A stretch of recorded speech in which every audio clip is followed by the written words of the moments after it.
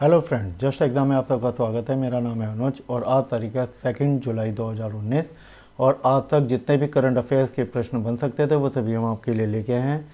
यदि अभी तक आपने हमारे चैनल को सब्सक्राइब नहीं किया है तो कृपया सब्सक्राइब ज़रूर कर लें और बेल आइकन भी ज़रूर दबाएँ ताकि आपको नए वीडियोज़ की नोटिफिकेशन लगातार मिलती रहे।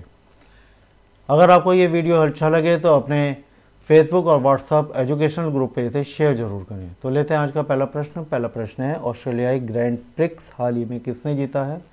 हमारे ऑप्शंस हैं Max Verstappen Lewis Hamilton Valtteri Bottas और एल्विस शिल्पे और इस प्रश्न का सही उत्तर है वेल्टेरी बोटास 2019 ऑस्ट्रेलियाई ग्रैंड प्रिक्स जिस जिसे औपचारिक रूप से फार्मूला वन रोलेक्स ऑस्ट्रेलियाई ग्रैंड प्रिक्स के रूप में भी जाना जाता है।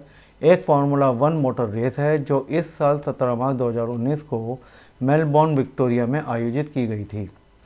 इस दौड़ में मेलबर्न ग्रैंड प्रिक्स सर्किट के 28 से अधिक कंटेस्टेंट ने भाग लिया था। तो लेते हैं अगला प्रश्न। अगला प्रश्न है, भारत ने 200 करोड़ का एंटी टैंक मिसाइल समझौता किस देश के साथ किया है? ऑप्शंस है जापान रूस अमेरिका या मलेशिया और इस प्रश्न का सही उत्तर है रूस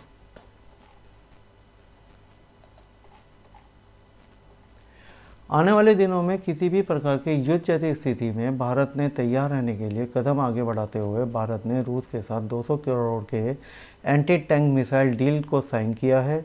इस एंटी टैंक मिसाइल को एम आई पैंतीस अटैक चॉपर के साथ जोड़ा जाएगा। इसके साथ ही वायुसेना ने इमरजेंसी प्रावधानों के तहत इस डील पर रूस के साथ साइन किए हैं। डील साइन होने के तीन महीने के अंदर ही ये मिसाइल तैनाती के लिए तैयार हो जाएँगे। यानी कि डील साइन होने के तीन महीने में ही रूस से इन एंटी टैंक मिसाइल की सप्लाई मिल जाएगी। अगला प्रश्न है जीएसटी दिवस कब मनाया जाता है? ऑप्शन है 30 जून, उनतीस जून 28 जून या एक जुलाई। और इस प्रश्न का सही उत्तर है एक जुलाई। करीब सत्रह सालों के उतार चढ़ाव के बाद राष्ट्रव्यापी वस्तु एवं सेवा कर, यानी कि जीएसटी लागू हुआ था। यह व्यवस्था भारत की अप्रत्यक्ष कर व्यवस्था में अमूल चूल बदलाव लाते हुए एकल बाज़ार में 2000 अरब डॉलर की अर्थव्यवस्था और एक दशमलव तीन अरब लोगों को परस्पर जोड़ने के लिए किया गया था। जीएसटी को आज़ादी के सत्तर सालों के इतिहास में भारत का सबसे बड़ा कर सुधार बताया जाता है। इस केंद्र यह केंद्र और राज्य के दर्जनों से अधिक उपकरों जैसे फैक्ट्री गेट, उत्पादन शुल्क, सेवा, स्थानीय बिक्री कर या वैट को समाहित करता है। एक राष्ट्र एक कर को आकार देने वाले जीएसटी को लागू करने में कई बाधाएँ आई थी, तथा हर बार हर वर्ष इस लिए एक जुलाई को जीएसटी दिवस मनाया जाता है। अगला प्रश्न है। जर्नलिस्ट ऑफ़ द ईयर का फ़ेमस रेड इंक अवार्ड किसने जीता है? ऑप्शन है रचना खेरा अभिषार शर्मा, रवीश कुमार या अंजना ओम और इस प्रश्न का सही उत्तर है रचना खेरा। द ट्रिब्यून के लिए लिखने वाली रचना खेरा ने भारतीय विशिष्ट पहचान प्राधिकरण, यानी कि यू और इसके आधार डेटा कैश में कामकाज पर 2018 के दौरान अपने दूरगामी जर्नलिस्ट कार्य के लिए जर्नलिस्ट ऑफ़ द ईयर का प्रतिष्ठित रेड इंक अवार्ड को जीता है। अगला प्रश्न अगला प्रश्न है, सिंधु दर्शन महोत्सव भारत में कहाँ आयोजित किया गया? ऑप्शंस हैं, कश्मीर, जम्मू, लेह या शिमला, और इस प्रश्न का सही उत्तर है, लेह। लद्दाख की समृद्ध संस्कृति को दर्शाने वाला दो दिवसीय सिंधु दर्शन महोत्सव लेह में शुरू हुआ है। इस महोत्सव के बाद क्षेत्र में 23 जून को चार दिवसीय सिंधु दर्शन यात्रा का भी आयोजन किया गया। लेह में सिंधु नदी के किनारे पर आयोजित होने वाले इस महोत्सव का उद्घाटन पर्यटन मंत्री और क्षेत्र के विधायक रिक जिंग जोरा ने किया है। पहली बार लेह में सिंधु दर्शन महोत्सव अक्टूबर दो हज़ार में आयोजित किया गया था। तब से यह महोत्सव लगातार आयोजित किया जा रहा है। अगला प्रश्न लेते हैं। अगला प्रश्न है, सूक्ष्म लघु एवं मध्यम उद्यम दिवस कब मनाया जाता है? ऑप्शन है 26 जून 25 जून 24 जून और 27 जून। और इस प्रश्न का सही उत्तर है 27 जून। 27 जून 2019 को संपूर्ण विश्व में सूक्ष्म लघु एवं मध्यम आकार के उद्यमों का दिवस मनाया गया। Micro small and medium size enterprises day 27 जून को मनाया जाता है। संयुक्त राष्ट्र ने 6 अप्रैल 2017 को आयोजित अपने चौहत्तरवें पूर्ण अधिवेशन में विकास लक्ष्यों को अर्जित कराने वाले स्थायी कार्य को बढ़ावा देने के लिए सूक्ष्म, लघु और एवं मध्यम वर्ग मध्यम वर्ग के आकार के उद्यमों को महत्व को स्वीकार करते हुए प्रति वर्ष सत्ताईस जून को इस दिवस को मनाने का घोषणा की है। वे उद्यम, ये वे उद्यम होते हैं जो आमतौर पर ढाई से कम लोगों को रोज़गार देते हैं और विश्व भर में अधिकांश अर्थव्यवस्थाओं की रीढ़ की हड्डी हैं और विकासशील देशों में महत्वपूर्ण भूमिका निभाते हैं। अगला प्रश्न है, बिम्सटेक दिवस किस दिन मनाया जाता है? ऑप्शन है 26 जून 25 जून 27 जून या 24 जून। और इस प्रश्न का सही उत्तर है 27 जून।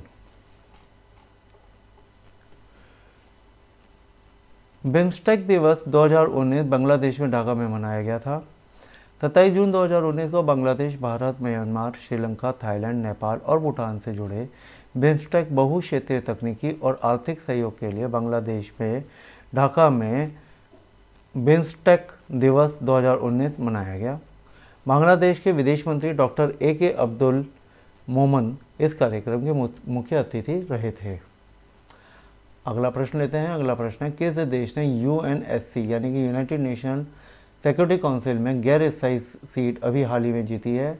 ऑप्शन है ऑस्ट्रेलिया, बांग्लादेश, भारत या ओमान, और इस प्रश्न का सही उत्तर है भारत। संयुक्त राष्ट्र में भारत को एक बार फिर एक बड़ी राजनीतिक राजनीतिक जीत मिली है। एशियाई पैसिफिक ग्रुप संयुक्त राष्ट्र के सर्वसम्मति से 2021-22 के लिए दो साल के कार्यकाल के लिए सुरक्षा परिषद की गैर स्थायी सीट के लिए भारत की उम्मीदवारी का समर्थन मिला है। भारत की कूटनीतिक गोलबंदी इस तरह से रही कि पाकिस्तान को भी भारत की सदस्यता का समर्थन करना पड़ा था। अगला प्रश्न, किस देश ने anti money laundering platform G O A M L शुरू किया है? ऑप्शन है यू ईरान इराक या यूगोस्लाविया और इस प्रश्न का सही उत्तर है यू ए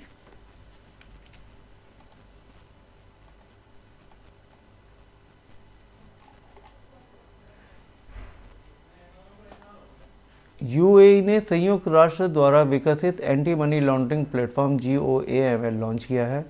संयुक्त अरब अमीरात ने के सेंट्रल बैंक ने अपनी वित्तीय खुफिया इकाई एफ़ में अबू धाबी में एक नया रिपोर्टिंग प्लेटफॉर्म जी ओ वैश्विक परिचालन एंटी मनी लॉन्ड्रिंग पेश किया है। यह ड्रग एंड क्राइम यानी U N O D C पर संयुक्त राष्ट्र कार्यालय द्वारा विकसित किया गया था। इसका मुख्य उद्देश्य अपराधों पर अंकुश लगाना, यह प्लेटफॉर्म लॉन्च करने वाला खाड़ी का यह पहला देश है। अगला प्रश्न, टाटा एआईजी ने किस बैंक के साथ समझौता किया है?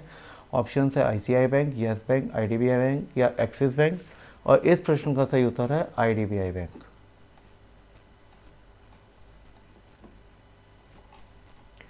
भारतीय जीवन बीमा निगम के स्वामित्व वाले आईडीबीआई बैंक ने निजी क्षेत्र की साधारण बीमा कंपनी टाटा एआईजी के साथ समझौता किया है। इसके तहत बैंक देश भर में फैली अपनी 1850 शाखाओं के ज़रिए अपने दो करोड़ से अधिक ग्राहकों के बीच टाटा एआईजी साधारण बीमा उत्पाद को बेचेगा। बैंक ने एक विज्ञप्ति में यह भी बात कही है कि टाटा एआईजी के कॉरपोरेट एजेंट की तरह वह काम करेगा। इस माध्यम से वह अपनी शाखाओं में कंपनी के स्वास्थ्य बीमा, मोटर वाहन बीमा, निजी दुर्घटना बीमा घर की साज सामान का बीमा और गंभीर बीमा लघु उद्योग बीमा और संपूर्ण स्वास्थ्य आदि की बिक्री भी करेगा। अगला प्रश्न है, हीरो मोटरकॉप ने अपना ब्रांड एम्बेसडर 2019 में किसे बनाया है? ऑप्शन है अक्षय कुमार, येरी मीना, विराट कोहली या अमिताभ बच्चन, और इस प्रश्न का सही उत्तर है येरी मीना। 17 जून 2019 को भारतीय दोपहिया वाहन निर्माता कंपनी हीरो मोटरकॉप द्वारा येरी मीना को नया ब्रांड एम्बेसडर नियुक्त किया गया। चौबीस वर्षीय येरीमीना लोकप्रिय कोलंबियाई पेशेवर फुटबॉल खिलाड़ी हैं। उन्होंने कोलंबियाई राष्ट्रीय फुटबॉल टीम में अपने और अपने क्लबों के लिए शानदार प्रदर्शन कई बार किए हैं। वर्ष उन्नीस सौ चौरासी में भारत की हीरो साइकिल और जापान की हीरो होंडा मोटर्स ने मिलकर हीरो होंडा कंपनी को बनाया था। वर्तमान में होंडा कंपनी से अलग हो जाने के बाद हीरो मोटरकॉप के नाम से हीरो ने इस नाम से दोपहिया वाहन को निर्माण का कार्य शुरू किया था। इसका मुख्यालय नई दिल्ली में है। अगला प्रश्न 2018 में जारी ट्रैफ़िक इंडेक्स में कौन सा शहर शीर्ष पर रहा है? तो ऑप्शन है कोलकाता, मुंबई, दिल्ली या चेन्नई। और इस प्रश्न का सही उत्तर है मुंबई।